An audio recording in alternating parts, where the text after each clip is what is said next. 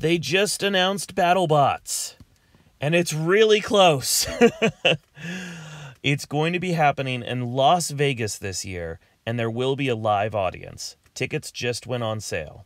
So here's everything we know it's going to be from August 23rd through September 4th. We have a lot to do to finish getting ready for this tournament.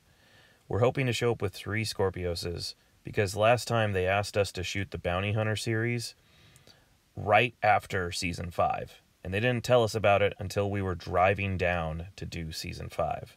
In case they pull that trick again, I want to be ready. So we're trying to make three Skorpioses.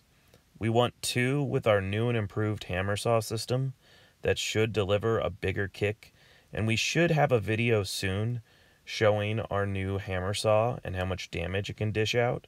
So please like and subscribe so you won't miss that video.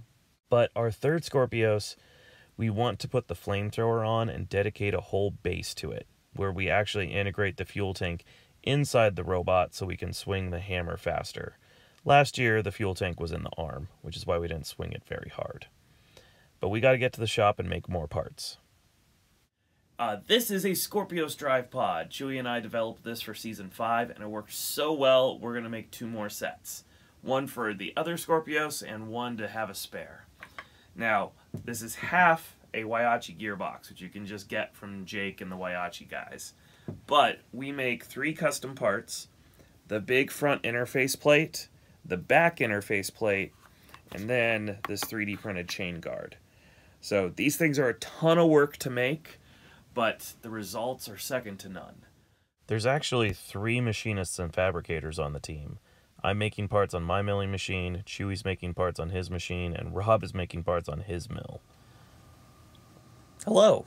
Doesn't this look like the TaskBot logo? This is the first part we're making today. And it starts with CAD, Computer Aided Design. So we're going to take this part and redraw it in our software. Then we switch over to CAM, Computer Aided Machining, where it takes the tool and it lays out all the different tool paths.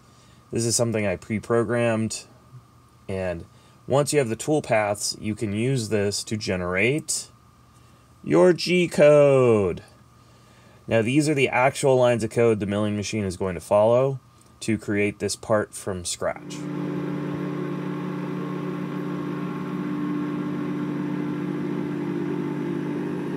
Hey everybody, welcome to the machine shop. It's very loud. I don't know if you can hear me. So I got my little mill here. It's currently cutting and chopping aluminum. The team has been going absolutely crazy trying to figure out who the selection committee is going to pin us up against. We've been throwing out ideas from Valkyrie to Hydra to even fighting Sawblaze, since that's what the fans seem to want. Please leave a comment on who you think we're going to be fighting in the upcoming season of BattleBots. What would your dream match for Skorpios be? And until then, we're going to try to stay focused and get enough parts made to build three Skorpioses and enough spare parts to keep us running so it's 11:30 on Sunday, and the mill is on its final, final pass.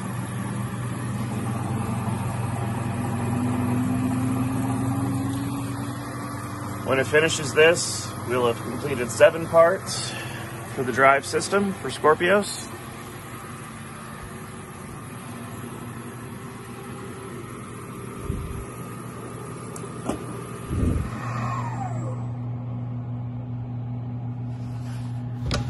We know this is going to be our hardest season yet.